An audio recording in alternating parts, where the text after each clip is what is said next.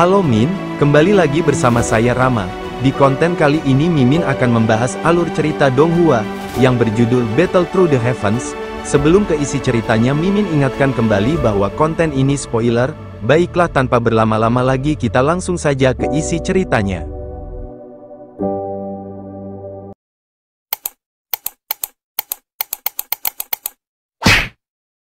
Di episode sebelumnya, pertempuran intens antara kelompok Xiao Yan dan Bing Zunze. Bing Zunze, dengan kekuatan luar biasa, menyerang dengan kepingan salju berwarna hitam yang berubah menjadi naga hitam ganas.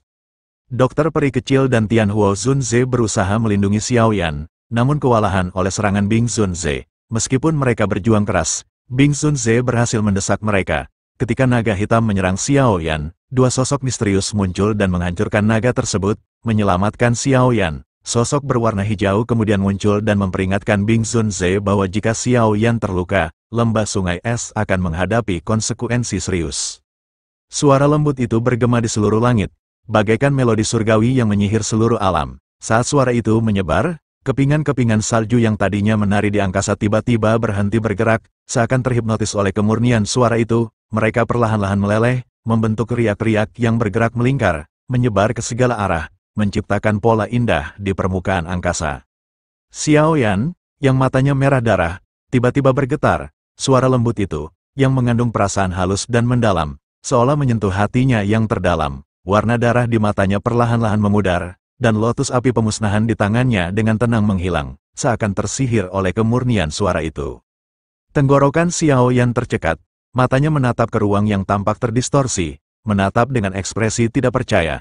Suara itu, begitu akrab, seolah telah tertanam dalam hatinya sejak lama. Bahkan jika Xiao Yan telah melupakan suara itu, suara ini tidak akan pernah terlupakan olehnya. Sun Er, Xiao Yan bergumam lirih, suaranya bergetar penuh emosi, seakan memanggil nama seseorang yang sangat berharga baginya. Tersirat perasaan kerinduan dan kebahagiaan dalam nada suaranya, bagai mimpi indah yang menjadi kenyataan. Ekspresi Bing He, yang semula acuh tak acuh, berubah drastis karena kejadian mendadak yang tak terduga, Matanya tertuju pada dua sosok tua di depan ruang yang terdistorsi, dan dengan cepat menyipit. Tatapan Bing He kemudian beralih ke ruang yang terdistorsi. Sebuah sosok halus berwarna hijau perlahan berjalan menjauh dari tempat itu. Sosok tersebut dengan lembut keluar dari ruang terdistorsi, di hadapan banyak mata yang terpana, dan muncul di tanah yang tertutup salju ini. Pakaian hijau yang dikenakan wanita itu tidaklah mewah. Namun, pakaian tersebut memancarkan aura terhormat yang tampaknya berasal dari alam peri, Aura ini bukanlah aura duniawi, melainkan aura mulia yang layak dimiliki penguasa dunia, seperti garis keturunan raja dengan sejarah panjang, auranya tetap kuat meskipun waktu berlalu. Rambut hitam panjang wanita itu diikat secara acak oleh pita ungu pucat, menjuntai lembut di sepanjang tubuhnya. Sesekali, angin sepoi-sepoi membuat rambutnya bergetar, memancarkan kesan dari dunia lain. Sosok itu muncul seolah-olah dia adalah peri yang secara tidak sengaja masuk ke dunia fana, dengan aura halus yang membuat orang lain merasa rendah.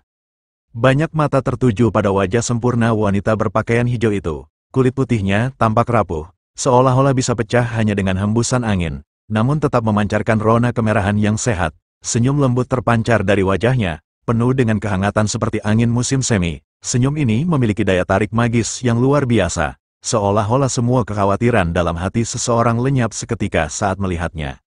Wanita itu muncul seolah-olah dia adalah peri dengan aura spiritual dunia yang menyelimutinya, membuatnya tampak sempurna. Wanita berpakaian hijau itu perlahan keluar dari ruang terdistorsi. Dia tidak melihat Bing Hei. Sebaliknya, dia berbalik perlahan di hadapan banyak mata yang terpana. Pupil matanya yang cerah menatap lembut pada pria muda di belakangnya. Senyum manis muncul tanpa sadar ketika dia melihat ekspresi tidak percaya pada wajah pria muda di belakangnya. Senyum yang tiba-tiba mekar itu seperti bunga epifilum, memancarkan daya pikat yang mengejutkan. Senyum itu membuat banyak orang menjadi linglung di bawah pesonanya yang memukau.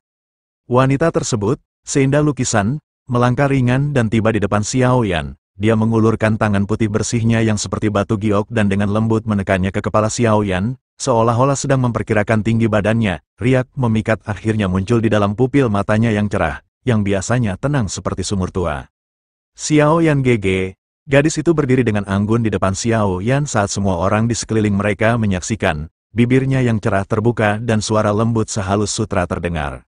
Xiao Yan membuka mulutnya lebar-lebar, jantungnya bergetar karena kegembiraan, namun wajahnya tidak menunjukkan bahwa dia telah kehilangan kendali. Dia memandang wanita yang sering dia pikirkan selama ini. Selama beberapa tahun ini, gadis itu telah berubah menjadi sangat cantik. Selain itu, Xiao Yan senang menemukan bahwa masih ada perasaan yang akrab di matanya yang seperti air musim gugur, menghangatkan hatinya. Penampilan wanita di depannya benar-benar berubah, sikap, kekuatan, dan wajahnya sudah cukup untuk menjadikannya dewi di hati banyak orang. Namun, saat Xiao Yan menatapnya, dia mengerti bahwa terlepas dari bagaimana dia berubah, dia masih gadis kecil yang suka mengikutinya dan berulang kali memanggil, Xiao Yan GG. Tubuh Xiao Yan sedikit bergetar lembut. Sesaat kemudian, dia akhirnya tidak mampu menahan emosi yang telah ditekan dalam hatinya selama bertahun-tahun. Dia mengambil langkah ke depan, mengulurkan tangannya, dan memeluk wanita yang sangat cantik itu di depan banyak orang yang berseru kaget. Tindakan tiba-tiba Xiao Yan ini sedikit mengejutkan wanita cantik itu yang bernama Sun Er. Mulut kecilnya mengeluarkan desahan lembut sebelum kemerahan yang cerah muncul di wajahnya. Dia dengan lembut berjuang sejenak sebelum menyerah, Baik dia maupun Xiao Yan bukan lagi pemuda yang sama seperti dulu. Dia bisa merasakan emosi yang telah ditekan dalam hati Xiao Yan. Perasaan ini menyebabkan kehangatan muncul di matanya. Mata dua tetua berpakaian hitam, yang telah muncul sebelumnya, tiba-tiba mengungkapkan ketajaman saat Xiao Yan memeluk Sun Er. Namun, setelah melihat bahwa Sun Er tidak melakukan perlawanan sedikit pun, mereka akhirnya saling berhadapan. Segera, mereka tanpa daya menggelengkan kepala, mereka sudah agak sadar mengapa Sun Er membawa mereka dalam perjalanannya keluar dari alam Gu. Namun, mereka masih merasa tidak percaya sekarang setelah menyaksikannya dengan mata kepala sendiri. Ada sejumlah pria muda tampan dengan bakat luar biasa di klan Gu yang tergila-gila dan tertarik padanya. Namun, mereka semua hanya menerima perlakuan yang acuh tak acuh. Bahkan ketika dia sesekali mengobrol dengan senyum, ada ketidakpedulian dingin yang membuat orang lain menjaga jarak. Dua pria tua ini belum pernah bertemu pria yang berani menarik Sun Er ke dalam pelukan selama bertahun-tahun. Jika kabar ini menyebar di alam Gu, kemungkinan besar para pemuda itu akan menjadi gila. Gumam, seorang pria berambut putih, berpakaian hitam, sambil memutar matanya. Penglihatan Nona Sun Er seharusnya sangat baik. Dari yang aku tahu, orang ini adalah anggota klan Xiao, kata pria tua berpakaian hitam lainnya. Klan Xiao, Keturunan orang itu, pria tua berambut putih itu terkejut mendengar ini. Segera, matanya menatap Xiao Yan dengan aneh. Setelah itu, dia tersenyum dan berkata, tidak heran. Namun, meskipun begitu, tidak mudah mendapatkan penerimaan dari klan Gu. Bagaimanapun, dia hanyalah keturunan orang itu, bukan orang itu sendiri. Selain itu, Nona muda adalah bagian dari klan Gu, yang garis keturunannya telah dirawat dengan sempurna selama hampir seribu tahun. Nona muda akan tahu batas kemampuannya dalam hal ini, tidak ada gunanya bagi kita, orang-orang tua, untuk mengatakan sesuatu. Keke, semoga, sementara keduanya berbicara dengan lembut, Tian Huo Zun Ze dan dokter peri kecil yang berada di belakang Xiao Yan terkejut melihat adegan ini. Tian Huo Zun Ze masih baik-baik saja. Dia hanya terkejut bahwa Xiao Yan berkenalan dengan orang yang begitu kuat. Kekuatan kedua pria tua berpakaian hitam itu begitu besar sehingga dia bahkan tidak bisa melihat tingkat kekuatan mereka. Mereka setidaknya dua bintang lebih tinggi darinya. Mata dokter peri kecil tertegun saat dia melihat punggung Xiao Yan. Kemudian, dia melirik sosok di pelukan Xiao Yan. Sebuah cahaya samar melintas di mata cantiknya tanpa terdeteksi. Dia sesekali mendengar Xiao Yan menyebut nama wanita ini, Sun Er. Dari nada suaranya saat berbicara tentang dia, dia bisa merasakan adanya cinta. Ini membuatnya agak terkejut. Dia jelas mengerti karakter Xiao Yan. Meskipun dia tampak hangat, dia jarang mengungkapkan emosi seperti itu kepada siapa pun, terutama kepada seorang wanita. Jenis cinta ini membuat dokter peri kecil tanpa sadar merasa iri dalam hatinya. Sejak dia berkenalan dengan Xiao Yan, dia hanya pernah melihat Xiao Yan mengungkapkan emosi seperti ini sekali. Sumber emosi itu adalah wanita berpakaian hijau di pelukannya sekarang. Xiao Yan memeluk wanita itu dengan erat, tubuh lembutnya seolah-olah menuangkan semacam energi ke dalam hatinya yang lelah setelah pertempuran panjang ini. Sun Er membiarkan Xiao Yan memeluknya, rasa kasihan melintas di matanya yang cerah, dia menyadari betapa sulitnya hidup Xiao Yan setelah kepergiannya. Klannya hampir hancur, ayahnya hilang, dan gurunya ditangkap. Berbagai pukulan ini dengan kejam menekan bahunya yang lembut, membuat Sun Er merasa sakit di hatinya untuknya. Namun, hal yang membuatnya merasa senang adalah bahwa Xiao Yan tidak jatuh dalam menghadapi kesulitan ini. Dia dengan keras kepala bertahan melalui mereka dan perlahan-lahan berjalan dari Kekaisaran Jiama ke wilayah Black Corner, dan dari wilayah Black Corner ke dataran tengah. Selain itu, dia telah bersinar terang dalam prosesnya. Xiao Yan saat ini bukan lagi anak muda yang lemah, yang hanya bisa mengandalkan kekuatan gurunya untuk melakukan sesuatu. Sekarang, dia adalah seorang ahli sejati. Xiao Yan GG, jangan salahkan Sun Er karena tidak berada di sampingmu selama ini. Suara lembut Sun Er tampaknya memiliki kekuatan ajaib, menyebabkan kelelahan di hati Xiao Yan perlahan menghilang. Gairah dan semangatnya tiba-tiba pulih karena dia. Apakah kamu menganggapku orang yang tidak masuk akal? Xiao Yan tersenyum, dia secara bertahap mengembalikan emosinya ke dalam hati. Setelah itu, dia mengusap kepala Sun Er dan mengendurkan pelukannya. Setelah melihatnya sekali lagi, dia merasa seolah-olah seluruh tubuhnya dipenuhi dengan kekuatan yang tak ada habisnya. Kau terluka, mata cerah Sun Er tiba-tiba berhenti pada beberapa jejak darah di tubuh Xiao Yan, mata cantiknya membeku saat dia bertanya dengan lembut. Suaranya mungkin lembut, tapi Xiao Yan dengan tajam merasakan energi alami di sekitarnya mulai melonjak pelan. Orang yang membuat saya berdarah saat ini mengalami cedera yang seratus kali lebih buruk daripada saya, kata Xiao Yan sambil tersenyum, Jarinya menunjuk ke beberapa lubang yang dalam dan puing-puing di dalam kota Ye. Sun Er membentuk senyum kecil di bibirnya, pupil matanya yang indah mengamati udara dingin yang menyebar di sekelilingnya. Kemudian, dia dengan lembut berbalik, mata cantiknya menatap Bing He yang berada agak jauh. Api berwarna emas perlahan muncul di matanya yang cerah, sementara suaranya yang lembut mulai perlahan terdengar. Apakah Anda akan menyerahkan hal-hal berikutnya ini kepada Sun Er? Xiao Yan terkejut ketika mendengar kata-kata Sun Er. Namun, dia tidak berusaha keras kepala mempertahankan apa yang disebut sebagai kebanggaan seorang pria. Dia mengangguk dengan lembut, memasang front yang berani bisa digambarkan sebagai berdarah panas, atau bisa juga sebagai gegabah. Dengan pengalaman Xiao Yan, dia tidak akan bertindak seperti pemuda biasa sekarang, memaksakan dirinya untuk terus bertahan. Jika dia melakukan itu, dia akan ditertawakan oleh orang lain. Hati-hati, senyum di wajah Sun Er menjadi lebih manis ketika melihat bahwa Xiao Yan tidak menolaknya. Dia tidak ingin Xiao Yan membentuk perbedaan yang jelas di antara mereka. Bing He, yang melihat mata mereka secara bertahap menoleh padanya, menatap Sun Er dan mengerutkan kening. Dia perlahan berkata, siapa kamu? Ini masalah lembah sungai esku. Bing He tentu saja tidak bodoh karena dia bisa menjadi kepala lembah dari lembah sungai es dan mencapai levelnya saat ini. Sejak Sun Er muncul, dia bisa mengatakan bahwa wanita ini memiliki latar belakang yang kuat. Namun, anggota klan Gu biasanya tidak menonjolkan diri, Beberapa orang biasa bahkan belum pernah mendengar tentang klan ini, yang berasal dari zaman kuno. Dari sini, orang bisa tahu seberapa rendah profil yang dijaga oleh klan Gu. Itu juga karena ini Bing He mengalami kesulitan mengidentifikasi kelompok Sun Er ketika pertama kali melihat mereka. Bagaimanapun, benua Doki ini sangat besar. Ada banyak seorang ahli yang tak terhitung seperti awan. Bahkan Bing He tidak berani mengatakan dia kenal semua ahli di dunia ini. Apa lembah sungai es yang sombong? Sun Er menatap Bing He dan menyeringai sedikit.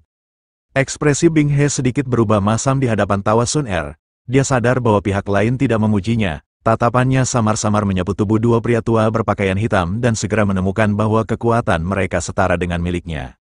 Diri yang mulia ini hanya menginginkan Wuful Poison Lady. Jika dia adalah teman Anda, diri yang mulia ini dapat membiarkan masa lalu berlalu. Namun, aku pasti tidak akan membiarkan wanita racun yang menyedihkan itu, Tatapan Bing He melintas di atas dua lelaki tua berpakaian hitam sebelum berhenti pada dokter peri kecil. Akhirnya, dia berbicara dengan nada yang hikmat. Dia bisa melihat bahwa wanita misterius ini dan bocah bernama Xiao Yan memiliki hubungan yang dalam. Mata cerah Sun Er menyapu dokter peri kecil ketika dia mendengar ini. Kebetulan, mata dokter peri kecil juga beralih. Tatapan kedua wanita itu berinteraksi di udara. Ada perasaan tak dikenal di kedua mata mereka. Sesaat kemudian, mereka berbalik tanpa meninggalkan bekas. Kepala lembah Bing, kamu tidak bisa membiarkan Xiao Yan itu pergi. King Hai di sampingnya buru-buru berteriak ketika melihat situasi ini. Xiao Yan adalah orang yang secara pribadi diperintahkan oleh kepala aula jiwa untuk ditangkap. Bagaimana dia akan kembali dan bertanggung jawab kepada atasannya jika Xiao Yan diizinkan pergi? Kamu harus bertindak sendiri jika kamu ingin menangkapnya. Ekspresi Bing He menjadi suram saat dia diam-diam memarahi orang tua ini karena tidak memahami situasi. Dia berani berteriak keras sekarang. Ekspresi King Hai sedikit berubah setelah mendengar teguran Bing He. Rasa dingin melintas di matanya. Segera, dia mendengus dingin. Sebagai penatua terhormat dari Aula Jiwa, King Hai tetap sopan terhadap Bing He, namun tidak akan merendahkan dirinya. Kalian berdua tidak perlu berdebat, tidak ada yang akan kalian bawa pergi dari sini. Ambil orang-orangmu dan tinggalkan kota ini dalam satu menit, dan aku akan mengizinkan kalian pergi. Sun Er mengangkat matanya yang cantik dan dengan tegas memerintahkan kedua orang ini, yang mulai bertengkar di antara mereka sendiri sebelum pertempuran dimulai. Ekspresi Bing He dan King Hai sedikit memburuk. Mendengar kata-kata Sun Er, faksi yang mereka wakili bukanlah faksi biasa, terutama Aula Jiwa yang didukung King Hai. Itu memberinya keberanian untuk bertindak tanpa takut. Faksi-faksi di Central Plains yang bisa menakuti Hall of Souls bisa dihitung dengan jari. Meskipun dua tetua berjubah hitam memiliki efek yang menakutkan, itu tidak cukup untuk membuat Bing He dan King Hai mundur hanya karena perintah. Hihi, sikap yang sangat arogan, Jarang sekali saya menemukan seseorang di Central Plains yang berani mengucapkan kata-kata seperti itu kepada aula jiwa saya. Wajah tua botak King Hai menunjukkan ketidakpuasan. Dia tertawa dengan cara yang aneh. Gadis kecil, saya sarankan Anda untuk tidak membiarkan faksi di belakang Anda mencari masalah dengan kekuatan yang mereka tidak bisa menangani. Mungkin kata-kata itu terdengar lebih mengesankan jika diucapkan oleh kepala balai dari Hall of Souls. Namun, Anda tidak memiliki kualifikasi untuk itu, kata Sun Er, Sambil sedikit tersenyum saat dia menggelengkan kepalanya, tampaknya hampir tidak ada keberadaan yang tidak bisa dihadapi oleh klan Gu di benua ini. Masih ada 30 detik tersisa, nyala api berwarna emas tiba-tiba berkelebat dalam mata cerah Sun Er. Ekspresi Bing He dan King Hai merosot. Sebentar kemudian, Bing He tidak bisa lagi menahan diri saat dia tertawa dingin. Jika dia berbalik dan pulang tanpa hasil, lembah sungai es akan benar-benar kehilangan banyak wajah. Bing He berderak dengan dingin dan gelap, Kepingan salju hitam di antara alisnya berkedip-kedip dengan kilau yang tak biasa. Udara dingin berwarna hitam perlahan memancar keluar dari tubuhnya. Dengan mengepalkan tangannya, sepotong es hitam pecah dan berubah menjadi tusukan es hitam yang tajam. Tusukan es itu sangat tajam dengan pola spiral melintasi seluruh permukaannya, memancarkan perasaan yang mampu mendinginkan tubuh. Ancaman sepotong senjata ini cukup untuk menimbulkan lubang darah seukuran kepala pada siapa pun yang terkena. Sesepuh, Sun Er tetap tenang saat menghadapi gerakan Bing He. Matanya tetap terfokus pada dua lelaki tua berpakaian hitam yang berdiri tak jauh dari sana. Kedua tetua berpakaian hitam dengan cepat membungkuk dan menggabungkan tangan mereka setelah mendengar Sun Er berbicara. Mereka tersenyum dan berkata, Nona muda, percayakanlah pada kami berdua. Pria tua berambut putih, berpakaian hitam, menoleh setelah bicara itu selesai. Matanya menatap Bing He saat dia tertawa. Keke, saya sudah lama mendengar bahwa kepala lembah Bing He telah menguasai Ice Zone Force sampai puncaknya. Saya sangat ingin merasakannya. Setelah ucapan terakhirnya terdengar, pria tua berambut putih itu melangkah maju ke dalam ruangan dan muncul tidak jauh dari Bing He. Wajahnya sambil tersenyum hangat. Orang tua, karena Anda telah membuat pilihan, serahkan saja mereka kepada saya. Orang tua berpakaian hitam yang lain menggelengkan kepala dengan lembut sebelum memandang King Hai dan Tian Suangzi. Bing He menatap pria tua berambut putih dengan mata yang suram saat senyum terpancar di wajahnya. Dengan langkah kakinya menginjak udara kosong, es batu berwarna hitam muncul secara misterius, berubah menjadi selusin tombak panjang yang terbuat dari es hitam. Dengan kecepatan kilat, tombak-tombak itu menusuk ke arah pria tua itu. Namun, pria tua berambut putih itu tersenyum melihat serangan itu. Dengan mengepalkan tangannya, doki kuning tua yang kuat meletus keluar dari tubuhnya, membentuk dinding lumpur tebal di depannya untuk menangkis serangan tombak-tombak es hitam tersebut. Nona muda tidak suka menunggu orang, aku yang lama akan bergegas dan bertarung denganmu. Pria tua itu melangkah maju di udara kosong, dauki kuning pekat meliputi tubuhnya, berubah menjadi naga tanah yang ganas. Gelombang-gelombang mengaum keluar, mengguncang udara, dan dengan cepat meluncur menyerang Bing He.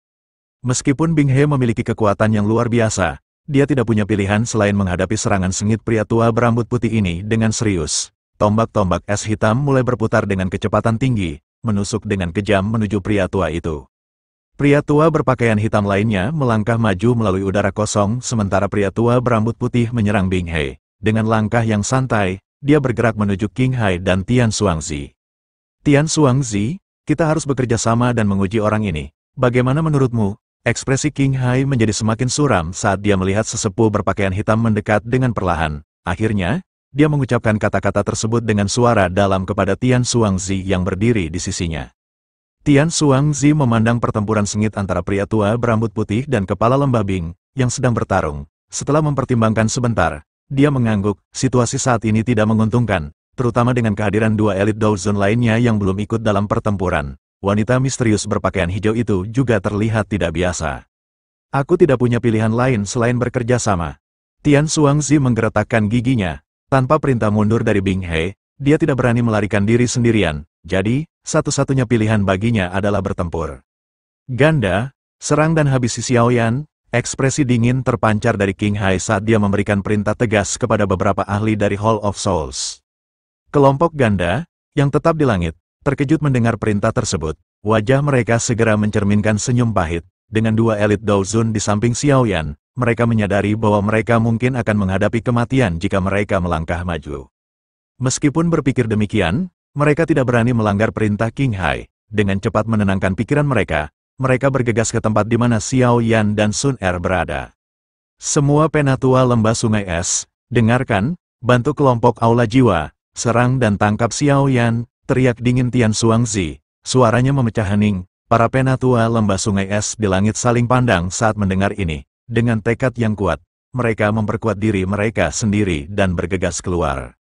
King Hai mengangguk puas saat melihat mereka beraksi, Matanya yang gelap dan dingin tiba-tiba berpaling ke pria tua berpakaian hitam yang telah berdiri di depannya. Tatapannya bertemu dengan Tian Zi, dan dia tertawa dingin. Doki yang perkasa meletus dari tubuhnya. Dengan suara, swos, keduanya berpisah. Dengan gerakan cepat, mereka menyerang pria berpakaian hitam dari arah depan dan belakang dengan ganas.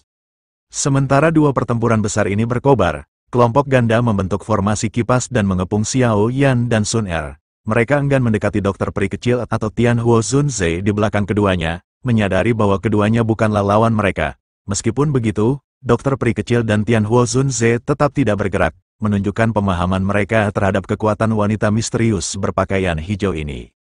Mata Xiao Yan memeriksa sekelilingnya dengan cermat, sedikit merajut alisnya. Ganda, ahli dari Hall of Souls, tidak lebih lemah dari pelindung Wu. Secara alami, dia tidak perlu terlalu khawatir jika hanya menghadapinya sendiri. Namun, dengan banyak ahli di sekitar, bahkan seorang ahli kelas Dao Zong puncak pun mungkin tidak bisa bertahan.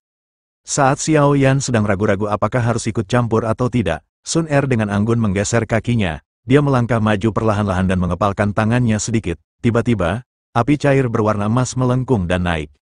Ekspresi Xiao Yan berubah begitu nyala api emas muncul, karena dia merasakan kehadiran api surgawi yang menyala di dalamnya. Ini, ini juga api surgawi, Mata Xiao Yan menatap tajam ke arah api berwarna emas misterius di tangan Sun Er. Ekspresinya terperangah, terpancar jelas di matanya, dan cerita pun bersambung. Terima kasih yang sudah dengerin Mimin dari awal hingga akhir. Sampai jumpa di episode berikutnya.